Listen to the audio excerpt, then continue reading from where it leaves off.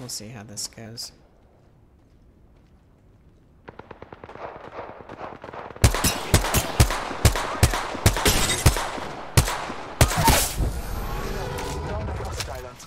She fell.